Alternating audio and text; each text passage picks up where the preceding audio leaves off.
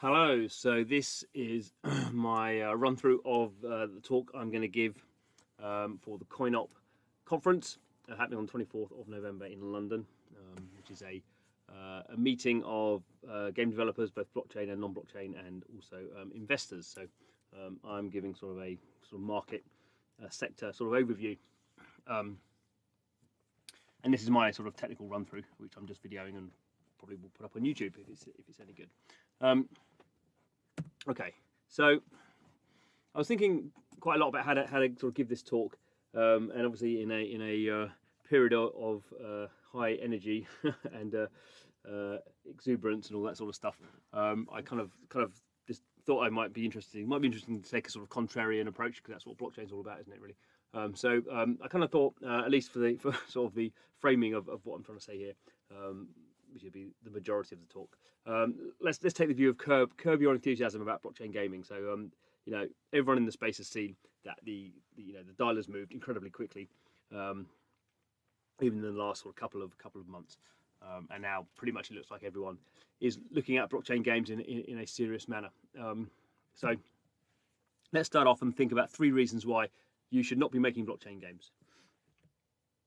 Let's follow that up with two reasons why you should not be investing in blockchain games, and uh, let's see uh, see where that takes us, and then uh, maybe um, we can uh, yeah have, have, another view um, after that. Anyway, um, so some reasons why we shouldn't be making blockchain games. So so the first thing is really um, you're not making a game, and, and this is sort of clearly a sort of a, a crunch point between um, sort of uh, game makers and and uh, people currently making blockchain games and there's lots of um, criticism that these are not fun, these are not games, and lots of um, startups now are saying, well, you know, the current the current sort of titles are not are not, are not fun, and we're going to make fun blockchain games, and that's what's going to make uh, that's what's going to make the difference.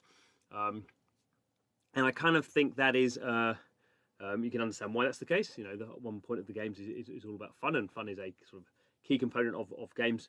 Um, but, but but fundamentally, I think where we are at the moment, at least, and and and really, um, really, I think for the future, um, if, if, when you're making a game um, that's using blockchain in, in any way, um, but but it's certainly ones with sort of sort of in-game currency and, and, and, tokens, that sort of stuff, is, is, you're not you are making a game, but but more importantly, you're making a an economy, um, and and really.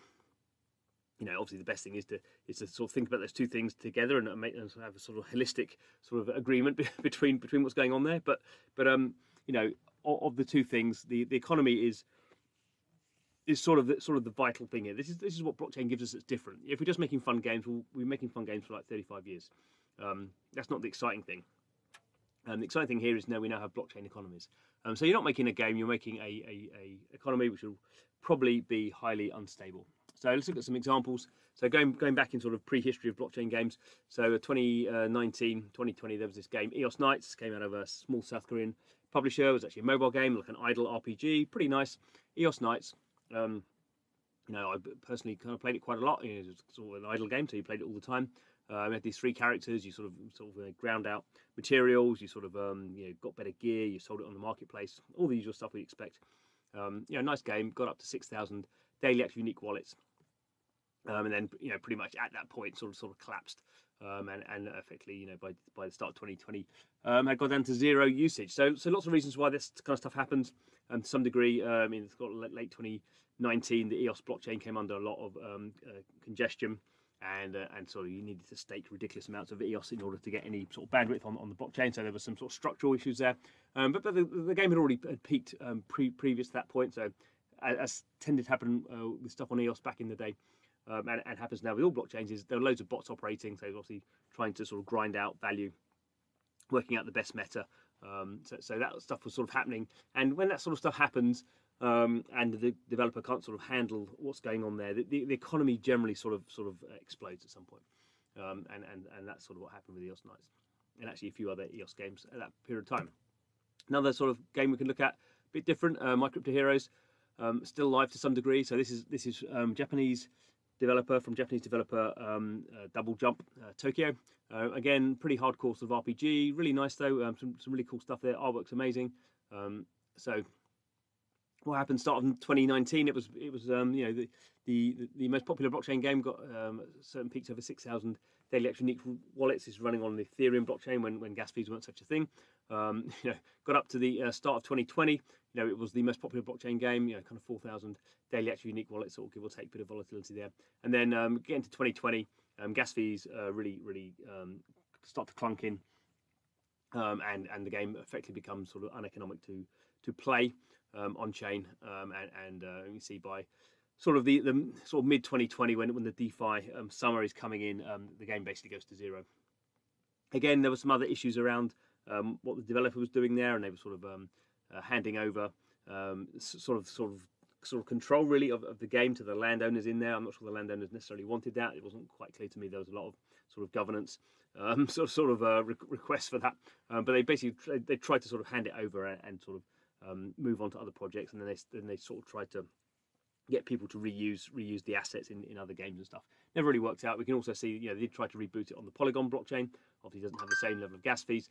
Um, that's happened in 2021. Um, you know, it's got up to you know about a thousand, um, but a bit, you know, um, even with these sort of serious projects from serious developers who, who, who you know know what they're doing. Yeah, certainly when something has declined and people have started to lose money, um, very very hard to resurrect these um, these, these projects. Um, I guess uh, you know a, a, more recent example, Crypto Blade. So this is running on the Binance Smart Chain. You know, could, again could argue, you know, is this a game? Basically, you're you're buying some NFTs. You're you're then doing some very basic sort of battles. Um, so, I mean, the most basic battles sort of um, you, you can do. You're, you're sort of getting um, XP to sort of level these things up, um, uh, but mainly you're, you're earning the skill token. So the skill we can see here. So this is the the blue line is the is the number of users. So we can see it hit over 400,000 daily active unique wallets um, in the start of uh, August. But we can also see basically what you, the only reason you're playing this game because it really wasn't fun. It really wasn't sort of a well crafted game um, was you were basically playing the game to mine out this skill token. Skill token, again, obviously running on Binance Smart Chain. Um, so we can see here the skill token actually peaked at uh, $142 um, compared to, uh, which is sort of uh, uh, towards the end of July. It started July at, at $1. So we can kind of see see what kind of velocity was happening here. And interestingly, the sort of the game, the, the token price peaked, um, you know, quite a couple of weeks before the actual DAUs peaked. And then if you look into transaction volumes and that sort of stuff, um, you can kind of see the, the, the bots were, were sort of already out the system and, and, and were cashing in their, their their skill tokens, you know, in the end of July, um, while new players were still coming in, and, and obviously um, we can see sort of the, the, the price um, was down more than half um, at the start of July, and then by the end of September had, had really come down a lot on basically the game. But that stage was, was was, was sort of finished. Again, supposedly they're trying to sort of resurrect it, but but, but clearly, um, you know, a lot of people have been burnt by this and, and very unlikely to, to go back to playing these games. So you, so you have very um, unstable economies, and they, you know these are you know, sort of old games, I suppose, and, and, games from inexperienced teams. But we can look at something like you know, NBA Hot Shot, uh, Top Shot, sorry, from Dapper Labs. You know, really well recognised team, raised tons of money. Um, you know, this was a project at the start of 2021 that really sort of exploded. So here we're looking at again daily active unique wallets, and when we can see, you know, sort of not very much the start of January, picks up February, March, um, really kicks in, and then, and then by sort of uh, end of end of April, you've got these, you know, um, uh, what's that, 100 and 180,000 daily active unique wallets. Obviously, depends when they're particularly sort of dropping these um, these uh, these packs in particular. But again, yeah, this is a project that went from a market cap um, of about two billion dollars down to um, I think it's been as low as 500 million, um, now about 800 million. So, so that has sort of recovered, uh, and um, maybe that's sort of the um, the cachet of having a sort of you know a, a, proper, well-funded team behind it who are clearly sort of building out stuff on it. And I think to a degree they were surprised as, as anyone that this thing exploded. But but basically, you still have um, you know lots of uh, community um, sort of unhappiness around the fact that the people had a lot of money sort of locked in the system. They couldn't get it out by the time they sort of um, could get it out. Um, uh, the, price of these things had sort of dropped. So, so you know, all that sort of sentiment stuff uh, does matter. And even in something, you know, something as, as, as sort of a, as I think as solid as, as, Blanko's block party, something I really spend a lot of time on, um, as you can see from these sort of graphs. Um, so this is looking at the uh, the return on investment if you bought the um, if you bought every sort of Blanko uh, if you bought one of every Blanko that came out um, at, at, the price at which it was available in the in the shop, and then this is looking at the comparing that ROI to the floor price, so the cheapest Blanko. Um, uh, if you had if you had if you bought one of every Blanko and then and then adding all that up and, and comparing that to the, the cheapest Blanko of all those Blankos, what would have happened? So um, we would have reached over 500% um, uh, return on investment um, in mid-September, um, but the problem was the market there wasn't fully sort of uh, liquid. So not all not all countries could buy. Not people from not all countries could buy and sell. Um, so so you sort of had a run up because people could buy and not sell, and then everyone be, became able to sell. And then of course what happened was was was the price of everything um, came crashing back down again. So it's still hit and sort of nadir of 100%. So so in a sense, you know, you were still up 100%, um, but equally people who bought in the run up um, to 500% obviously were, were, sort of down. It's sort of recovered again now, um, but but still sort of quite a ways off where it was before. And, and again, all this sort of stuff is, is sort of, sort of um, you know, bad sentiment. So this is just just to say that yeah, there are some real there's some really inexperienced projects where the whole thing probably you know, to some degree was was was was just so ill thought through. It probably was a scam. Uh, Crypto Blades. Um, there are ones that are proper projects where where just the economy just, just sort of um, you know takes on a, a, sort of will of its own. But, that, but the developer sort of sort of gets blamed for that. Um, you know, and we can sort of look back in, in, in, the past, and I think obviously there's been lots of mention about uh, these things. Ponzi scheme is Axie Infinity Ponzi scheme. So I, I, have spent a bit of time researching. You know, what is it actually Ponzi scheme? So um, obviously a lot of these things in history. The first it's called Ponzi scheme because there was Charles Ponzi, um, so a uh, American Italian uh, between the the two world wars. Um, and he actually had a sort of, you know, he was, like a, you know, he wasn't, he probably was a scammer to be honest, but he did have some sort of um, scheme here. So he was going to arbitrage international reply coupons, which was a way of sort of sending stuff through the post um, to um, to and from America, and basically worked out that you could buy these things very cheaply in Italy and and um, then redeem them in the states and basically get their kind of stamps and then sell the stamps on. So he reckon get 400% return on that, but obviously he needed to raise capital in order to go and buy these things in Italy and then ship them to, to the states and then recover them. Um, so he promised uh, to get capital. He promised people 50% profit within 45 days, um, or 100% profit within 90 days. So you know, I guess you could argue whether he was a he was a um, you know a legit businessman at any point or not. Um, he ended up um, going on after the after this prison deal here to uh, to try and sell swamp in um, in Florida. So so probably on the scammy side, you would say. Um, part of the reason you know part of the reason is is when people offer people get offered these things and it doesn't sort of break down straight away is the human nature sort of kicks in. So whether or not someone's offering ponzi scheme it's human nature that allows that allows that sort of um, situation to to develop. So you can kind of see you know by you know just how, how quickly these these sort of things sort of take off. And even if it was a legit um, business in the first place you know very quickly it becomes you know sort of unsustainable. Um, uh, similar thing you know bernie madoff again you know incredible you know 65 billion dollar um, uh, ponzi scheme um, you know, but he started out, um, you know, as a, as a sort of a proper trader. He was actually quite innovative. He was actually uh, chairman of the, the, Nasdaq Stock Exchange, one of the first people to do a lot of sort of computerized trading. Um, you know, was one really one of the big liquidity providers for the Nasdaq Exchange back in the 70s and and, and 80s, um, and, and it almost became so much money was being offered to him that, that, that the sort of um, opportunities that he potentially had been doing to make money um, just didn't work anymore at the scale he was offering at, and, and, then the whole thing sort of became a Ponzi scheme. Obviously, arguable about whether it, he he wanted that from the start. Um, obviously, he knew it was for a long period of time before it, before it finally went bust. Um, but this is the sort of thing, you know, I'm just saying that there are scams out there, but equally there are um, things that when you're offered so much money um, or so much money piles into a project, then then sort of human nature takes over, and these things sort of become Ponzi schemes um, to some degree. Because the interesting thing about blockchain projects that we always forget is there is no centralized sort of sort of um, sort of agent here. So if it's a Ponzi scheme, it's sort of the Ponzi the Ponzi scheme is the whole community because it's not just the money's not going to Axie Infinity, the money's going to the people who are buying and selling. Um, uh, uh, NFTs or, or, or, tokens or whatever it is. So, so I guess in, in, the sense, if any of these things are Ponzi schemes, then we're all part of the Ponzi scheme. Okay, uh, so this is this is you know you're not in control of, of the of the economy, but but you, will get blamed for everything. So you know as much as anything, everyone hopes to be running a fully decentralized DAO where all the decisions are made by by token holders. You know clearly nothing not there yet, and even in that situation, everyone will blame um, the developer. You know so the thing always is, you know, when tokens, uh, um, as soon as it's when so as soon as the tokens out, that's when moons are. So so you basically you basically will get pushed all the time um, around token, uh, and and why is it not on Binance and all this sort of stuff. Um, and you know that's just if you want to go down this route, that's that's that's what you have to live with, you know. Um, and I think you know the, the brutality of this market is is you know it's it's really hard to get your head around unless you've been in it for a while. You know, you know these are these are projects where individual people can put hundred million dollars into your economy in a second. Some people, someone can remove hundred million dollars from your economy in a second.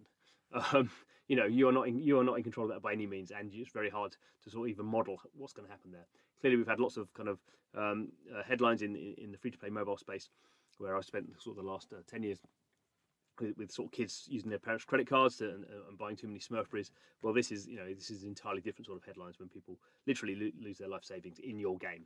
You know, you are the one who's going to get blamed no matter that it, that it is um, blockchain. You know, and you know, as the, Tyson, the famous Tyson meme, meme, is, you know, you can model this stuff to, to, to blue in the face, um, but when you get punched in the face, you know, these things are are super serious. You know, and there's you know, not, well as we get to, there are some positive things about that, but but but know, as a game developer developing a product, you will you will never come across the sort of serious implications of doing this sort of stuff. Um, okay, I mean, even we see this sort of thing uh, actually so this is a smooth love potion. This is a utility potion. This is supposed to be a a sort of um, um, you know non-volatile uh, sort of sort of token that's that's sort of you know used to pay people out and, and used to burn burn to breed. Um, and even there, you see massive volatility. The first spike there happened because of Fortran group decided to pump and dump. Nothing to do with Axie, um, but uh, that's what happened. Um, and, and, sort of the other, you know, the other ones coming um, further down the line. Um, but this is this is this is supposed to be a token that you do not buy for speculative reasons. That's very clear. That's what happens, you know, and you have to build a sort of a community a, a, a, sort of a product that can deal with that. And then of course, when that sort of stuff happens, and you get people doing this sort of thing, um, and you know, a lot of um, discussions about whether you know I think this is a good thing or, or a bad thing. So this is looking at the different levels of um, sort of Axie skill. Um, uh, so so your ranking in Axie Infinity and and how much you can earn um, at various points, dep- uh, depending on what the price of the SLP price is, and then they, they link that back to the um, average daily wage in the Philippines. The orange line and the and the blue line is the minimum wage. So there's all this sort of stuff, you know, sort of obviously pointing out. Well, if the price goes goes too low, then people aren't can't earn money anymore. Um, so, so I'm not saying I'm not saying whether that's a good analysis or not, but but but suddenly, you know, certain games in this blockchain space, you know, that's the sort of level of scrutiny that you are being subjected to for things that are just totally um, outside your control uh, to a large extent, I suppose. Okay, um, something I think is, massively over underestimated for game developers who have pretty much you know know how to make games. They they raise money to make the game, they put the game out, and then they start to earn money. Um, you know, you will not make you will not make enough money in the early stages. Um, is, is, my sort of view on this, particularly as we get more um, as games projects get require more capital up front. Um, so how does this happen? Um, so very simple obviously uh, in terms of NFT sales. At the moment, we have something like this. Epic Games releases some content in in Fortnite, and and, and players buy, it, and Epic gets the money. And then um, some more content comes out, and players buy the content, and Epic gets the money. Um, pretty straightforward. That that's how how, how games companies make money. They, they make content. They try to get as many players to spend as much as possible. Um, but this is a bit different when we have in our NFT space. I'm not dealing with um, cryptocurrencies here, but if you're thinking about NFTs, you know, a player buys something from from you as a company, a primary sale, so that's all sort of good. Um, but then um, that uh, another player buys that um, item. So they're not buying not a primary sale from you. So you've missed out one primary sale there. Um, most of the money goes between two players, and you get maybe um, a, a, small percentage, ten or five, five or ten percent. So you basically missed out. You know, you basically missed out ninety percent of, of of of revenue there. Okay, but it's nice. You know, another player will come along and, uh, and buy that um, item again. Again, you've missed out sort of primary sale there, but you got a, a, little cut, and then we can obviously, you know, this is gonna gonna gonna keep going for as many times as these things are are um, are, are traded. So you know, you do you in some sometimes this is good because you're making money from every transaction, but in other senses, eh, you know, it will depend on each game, and, and there's various models you can do. Uh, but you, but clearly, um, you're you're not going to have um, the same level of primary sales. Um, I think that that seems to be pretty pretty clear.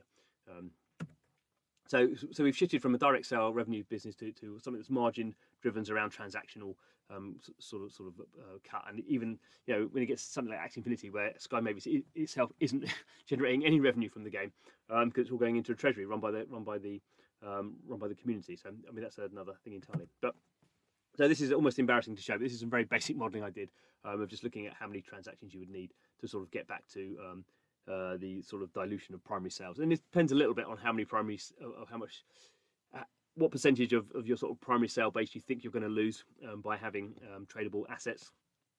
Um, so this this sort of um, you doesn't really model that to be to be totally frank. But what's interesting is um, this sort of looks to see this sort of has an, sort of a a, a, um, a random a random element of whether the NFT price goes up or down.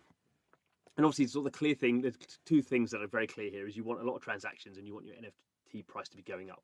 Because uh, the more transactions you have, the more um, sort of the, the, small percentage that you're getting is, is, is becoming more valuable. You're getting more of that, and then as the NFT price goes up, your your the percentage you're getting is bigger.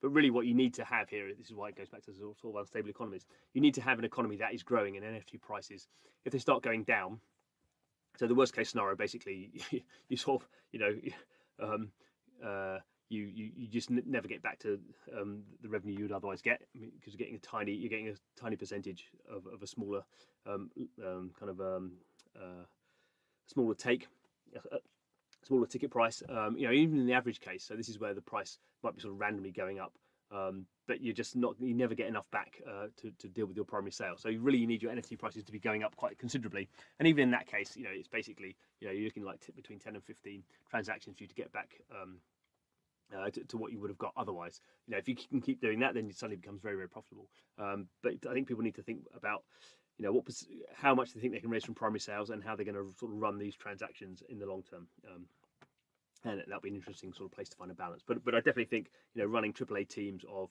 hundreds of developers over many years to make a AAA game, um, you know, that, that's that's that, I just, I, you know, I'm. Well, it seems like lots of blockchain games at the moment are raising lots of money. Um, I, I, don't think that's a great sort of sustainable model myself. Um, okay, so two reasons why you shouldn't be investing in blockchain games. So um, the moment everyone is investing in blockchain games, and I mean everyone. So basically everyone who can buy um, uh, a, a, token, even on a secondary marketplace, even on through Uniswap, is sort of investing. And it's sometimes funny to to, to, to talk to investors who, who supposedly invested in Axie Infinity's first round, um, and you talk to the Sky Mavis guys, and they're like, mm, uh, who are they? Um, so everyone thinks they're an investor, and if you look down some of these portfolio decks, then basically all, all it really means is they bought a token at some stage. Not very clear when. Um, so everyone in blockchain is investing. Um, money is basically a commodity, as we'll sort of get onto. Um, uh, so, so, you know, people don't.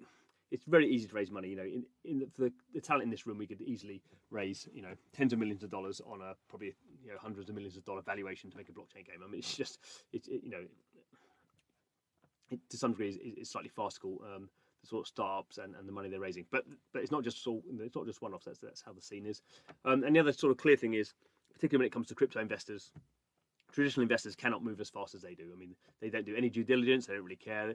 All they care about is when they get their, their tokens and when they can sell them. So, so you have a lot of money. It's moving, moving at ridiculous, ridiculous speeds, um, and, and, that's you know just how you have to live with it. So, you know, so far um, we've almost five billion dollars. This is like some stuff I've been tracking, so um, give or take a little bit, but five billion dollars I've tracked into the into the industry since 2018. 3.6 of that has come in 2021 most of the you know, majority of that has come through sort of I would call traditional VCs. Um, you know, we've got some some companies have started to raise fairly significant amounts now. So Forte, nine hundred million dollars. Sorare, um, uh, you know, Forte is a platform. Sorare is just sort of a game at the moment. Um, you know, almost eight hundred million dollars. Dapper Labs is, is, is a blockchain. Six hundred million. Mythical Games, a platform, two seventy. You know, we know all these people are. You know, some of them in the room. Probably all these people are raising again at the moment. You know, certainly some of them are. Um, so, so there's just a lot of money sort of floating around. Um, it kind of shows the same thing. It's kind of funny here to see in the in the far left hand side the, the, the, ICO boom that sort of worried us all in 2018. All this sort of crazy stuff going on. Sort of, um, you know, we, we, you know, you could argue which are the crazy years, which are the crazy valuations here. Uh, when, you, when you could raise you know 20 million dollars off a white paper compared to um, you know some of these other uh, companies who I'm sure are doing a bit more than white paper, but, but maybe it's a white paper plus a bit of reputation. I don't know. Um, we will see how this sort of stuff pans out. Um, and and you know going back here, so so I've, I put 2018, 2019, 2020, um, and then compared to the months in 2021, so you can just see the velocity um, that's going on there in terms of money raised. So um, so far in November, um, over a billion dollars, uh, mainly Forte. Um, and again, this sort of comes back to this, this sort of this sort of this, the speed of crypto investing. So this is looking at the number of deals in the year. Um, again, this is sort of, sort of my own data, so um, give or take a bit on the, on the accuracy. But the number of number of deals in a year, horizontal, and then vertical, the number of um, investors. So there's a bit double counting on the, on the vertical scale, but you can just see how things have changed. So not only are there many more deals in 2021, um, the number of investors is, is also um, is you know, much much higher. Um, and you know, not this is just sort of one actually that I saw last week, uh, and actually I did double check, and this was this was the deal I could find with the most investors in it. Um, so block blockchain space. I know some people in the room have invested, so I'm not I'm not casting assertions here, but it's, it sort of just goes to show quite the sort of weirdness of what's going on here. So they, they raised a fairly small amount of money, 3.75 million. Um, 16 investors, uh, VC investors shown on this uh, slide here. So the majority of these, in fact, all of them are, are sort of crypto investors, uh, come out of the sort of crypto space. Obviously, some fairly large ones there, Animoca, in, you know, uh, Infinity and Spartan, sort of well known. Uh, some other ones also um, sort, of, sort of well known with, with, with reputation. Um, but as well as these 16 VCs, there's also eight angels, again, some in the room, um, to raise this fairly small amount of money. So, so you sort of have this problem now that you know everyone, everyone's got a bit of money to invest, but actually, you know, if we think about how investment sort of actually works, you know, this, these early stages, everyone's getting a tiny amount, and, and um, probably everyone, everyone, you know, you know, dilution in the same way, but um, you don't, no one really owns enough of what's going on here for it to be sort of um, sizable in, in the sense of how VCs used to work. Um, and you know, and we kind of see this now, you know, with this particularly around valuations. So, so you know, I'm sure it's going to get even more insane. You know, I don't think this is this is stopping anytime soon. Um, but risk reward is sort of out of kilter, and this is definitely difficult. I think for the traditional funds. You know, there's a great great um, blog post by um, uh, Fred Wilson from a USV um, on um, how particularly early stage startups um, will not will not be able to return their fund just because because they will just get too diluted. Again, I mean, it's a bit more focused on on equity than than tokens, but but uh, you know these sort of things, this sort of risk reward, you know, mechanic now um, is is really sort of out of kilter with the things we've seen before. Um, and yet, and yet, and yet. Um, so three reasons you should be making blockchain games, blockchain game economies at least. So you know it's pretty clear blockchain game economies will change the world. Um, you know we've not really been able to. Well, I guess people have said that about games in sort of some sort of sort of um, community-based um, way, or, or, you know MMOs, or, or building relationships online. Or lots of things games have been sort of great, sort of good good at and people can make the argument for, but but you know, without getting too sort of messianic about it, you know, do you want to reshape the global economy for the better? And and clearly that's what we've we've already seen.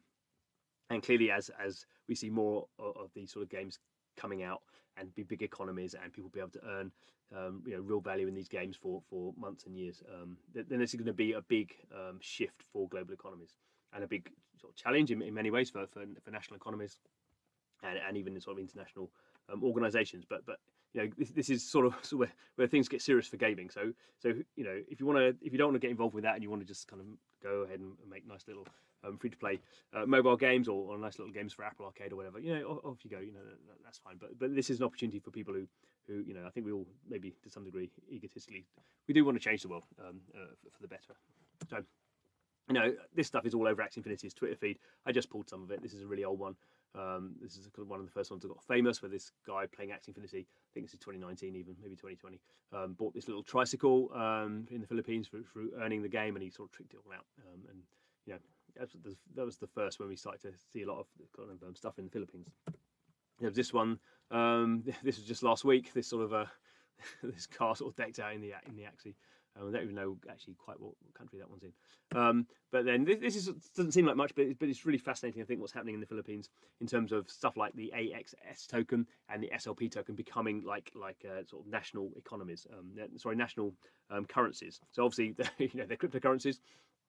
But this is like a coffee shop, and you can buy your whatever you want to buy your your your, your pastries and your coffee um, uh, using using cryptocurrencies. And you know now we have these uh, you know the, the Ronin wallet is a mobile wallet, um, and we've also seen sort of people uh, doing rental, uh, you know, uh, house rentals using uh, AX AXS tokens, um, and and you and you just kind of see now people are earning stuff in games and they're buying their sort of day to days with it. This stuff is never it's not going into fiat at all. It's just sort of it's remaining in crypto land, um, and yeah, this is just going to be more and more of that. Obviously, obviously, you have to be a certain type of game in a certain type of location to, to have that sort of um, uh, sort of power but clearly this is what's going to be happening. And, you know what governments think about it, um, we, will wait and see. Uh, but yeah, I'm not sure the Philippine, Philippines government could, could really stop it at this stage. Um, and, this is like a really you know again it's just something I, saw on Twitter, and I think this is one of the big misconceptions about people playing Axies at the moment that they're sort of like um, you know they, they, they've swapped one form of sort of capitalist repression for another. Um, and instead of sort of working in the fields, in the paddy fields or something for some terrible wage, now they're just sort of working on their phones and having to work and, and just getting sort of um, you know a, a, minimum wage and, and coming back and having to do it every day. No, I mean I think this is really what happens in, in, in crypto. Is people sort of start out you know doing that starting out with a scholarship so they don't own their nfts they're they're borrowing their nfts and and, and um, you know grinding out the money and getting 70% back of it and but then what happens you know after for a certain period of time um, you know they make their money and then they start saving their money. And do they save their money in fiat? No, they start saving it in crypto, and then they start going up the crypto ladder. So this is, you know, I, I don't know if this is true, but this lady here, she's been a scholar on Axie Infinity for three months. Um, so what she what she's done, she's she's got her own team. So she's she's basically been able to save enough crypto to buy three Axies or get access to three Axies. She has now has her own scholars, so she's renting those out to other people who are getting seventy percent, and she's getting um, she's getting thirty percent Um, she learned about NFTs and, and, made a lot of friends and stuff. And so you can kind of see, and this, this, I mean, talk to Gabby much more about this. You can kind of see people starting now to have the sort of, you know, people who never had access to credit cards or anything like that, and now within within these sort of games, being able to earn and and cash out for fiat if they want to, or keep it with it and spend it um, like fiat, or keep it within crypto and, and, and things like Yield Guild, getting their own tokens there. So the great example Gabby always gives is, you know, being part of Yield Guild is like being an Uber driver where you get paid to do the, the, the driving and you get stock in Uber. You know, um, so so this is very easy, I think, to to, to forget that that um, you know this is not pay to earn is is is you know, the bottom of the ladder. Um, okay, and this sort of stuff. Um, so this is just something that came out. I thought was interesting. So Yield Guild, obviously, sort of best known. Um, there's loads of other sort of companies who are doing very similar things. So earning owning NFTs in games, particularly Axie Infinity, or really only Axie Infinity at the moment. So they're owning assets, they're renting them out to, to, to scholars, um, and then sort of splitting the revenue. So Merit Circle is one of the bigger ones. I mean, there's loads of other ones. There's Blackpool, and, and there's ones generally uh, have sort of ge geographical sort of areas in which they focus on. So a lot of stuff going on in Venezuela, some stuff happening in Eastern Europe as well. Um, but but but um, but it's interesting that Merit Circle, you know, in some degrees are, are competing with Yield Guild and, and, some of these other ones as well. Um, but but they're coming together, actually coming together and, and making strategic partnerships because they realise the size of the cake, um, not the size of your slice, is is, is, the thing really at the moment that everyone has to focus on. You know, this is this is this is really only just started out. Okay, uh, blockchain economies are are more um, equitable. Um, so this is you know um, we'll go a bit quicker now. Uh, how are we doing for time? Um, so you know these things only work when when developers and communities are, are, are fully aligned in terms of incentives. So you know, Axie Infinity um, or you know, Sky Mavis or the token does well. as you say in Axie Infinity when when people are playing the game and enjoying it and and spending time on it and putting to, putting token value, putting value in there. Um, and then the token value sort of goes up, and the NFTs, you know, um, continue to have their value, uh, maybe go up as well. Um, and because everyone is is in a common um, economy, and because it is a because it is a circular economy, um, then then everyone you know gets uh, you know is rewarded um, by, by by the same success. In fact, you could argue the community you know uh, takes the majority of the rewards because the um, the the treasury of Axie only gets kind of 4.25 percent. So. So you just kind of feel obviously none of these things are perfect, um, um, but, but but compared to where we are before, where developers get 100%, um, clearly um, there's been a bit of a sea change there in terms of financial incentives. And then when we think about DAOs and things like that in future, um, some some of the sort of soft soft community stuff coming in, that then then that sort of plays again um, into the same thing. Uh, I think you know, um, I mean, we've only really started to scratch the surface of, of how you can use blockchain games, and you know, probably I think the worst example at the moment is everyone everyone looks at Axie Infinity and goes, "Well, I'm going to make the next Axie Infinity." I mean, that's I can guarantee that's the one thing that's not going to work.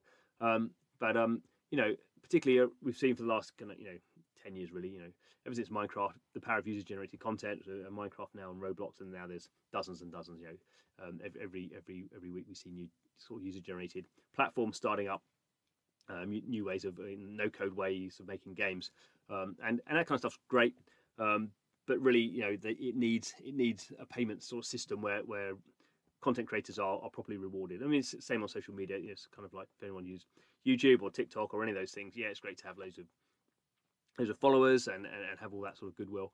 Um, but actually monetizing the stuff is a total pain. Um, and, and, and as soon as you have sort of blockchain based systems, that then all that stuff sort of goes away. And, and really, um, the people, you know, people who are making this sort of stuff are the ones who, who, who get rewarded. Um, and I think that, that then um, encourages kind of even more creativity. Um, two reasons you should be investing in blockchain game economies. Um, well, clearly, it goes without saying, a handful of these, of these economies are going to be insanely valuable. You know, they are going to be um, you know, they're going to be sort of nation state size sort of economies, however you exactly measure the the economies. Or you know, I don't know there's any good examples at the moment. Sort of, you know, token market cap or NFT market cap, all those sort of things. Not not not, not necessarily a great way of doing it, but um, I think uh, some differences here when it comes to blockchain games. Um, I don't think return on investment is is everything, but I think is for a, large proportion of the audience, it's going to be a lot of stuff. You know, be interesting when um, you know, I'm sure at some point a, a, new game will launch and it will offer a better return on investment than Axie Infinity. Um, how how will the Axie Infinity community sort of sort of flex to that? Um, probably uh, probably quite well, I would think. But but clearly, um, people are going to be uh, competitive advantage is going to happen to some degree around return on investment, um, and to some degree, the I think you have fewer winners in this sort of scenario because because just money just just works in a different way to to sort of entertainment. Um, in in converse, I think also that uh, there's much there's much better retention rates and, and, and audiences are much stickier when they have um, sort of skin in the game here. Um, so, so, I think that plays into you know, the kind of bigger winners here.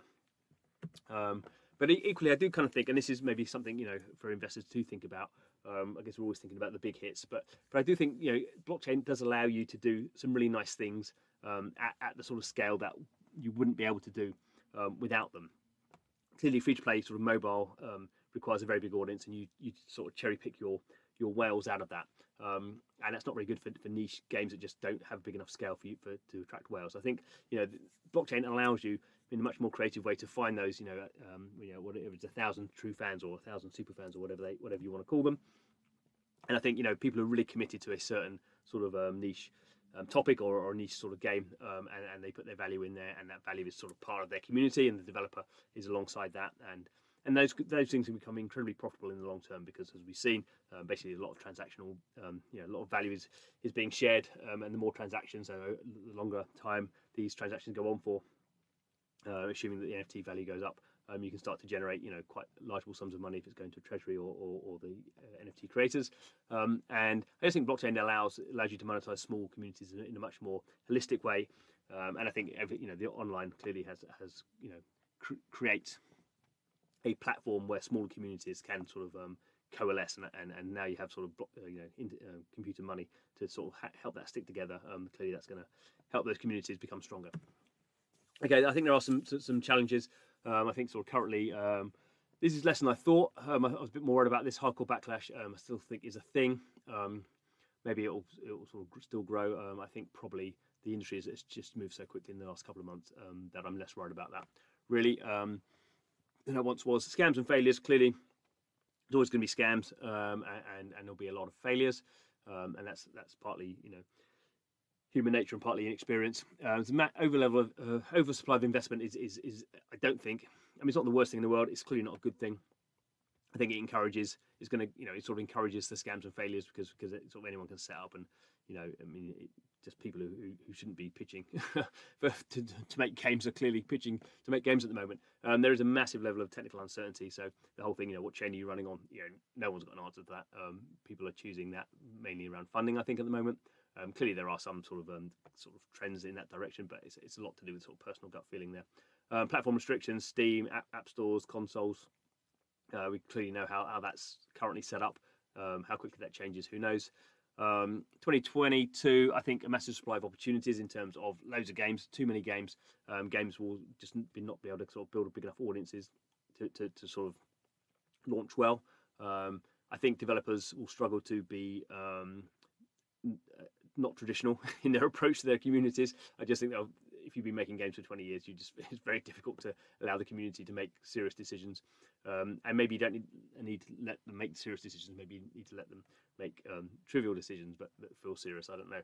Uh, but but they're and not mention stuff like DAOs really in communities.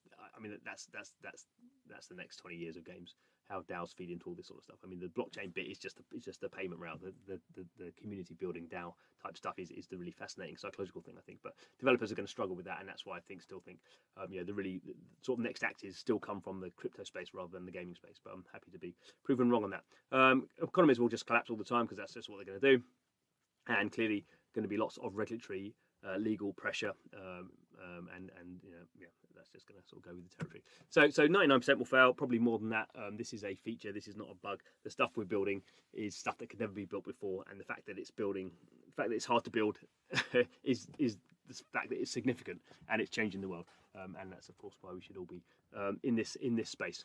Um, so yeah, thanks thanks for that. Uh, any questions? Um, yeah, uh, please give me your questions.